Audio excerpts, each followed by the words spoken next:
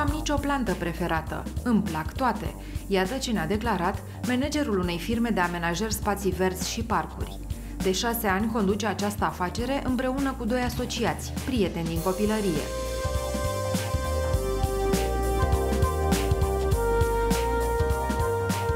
A lucrat înainte în Italia, la o astfel de firmă de profil și când s-a reîntors în țară și-a deschis una asemănătoare.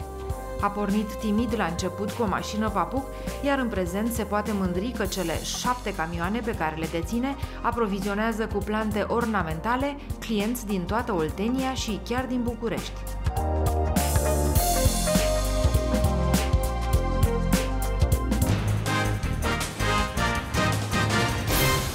Ați început această afacere după ce ați lucrat în Italia, în acest domeniu. Vorbiți-ne despre această experiență.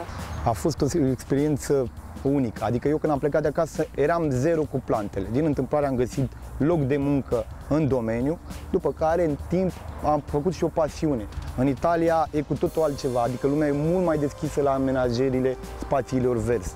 Foarte multă lume, nu există grădină, nu există casă fără să nu aibă un spațiu verde deja uh, amenajat.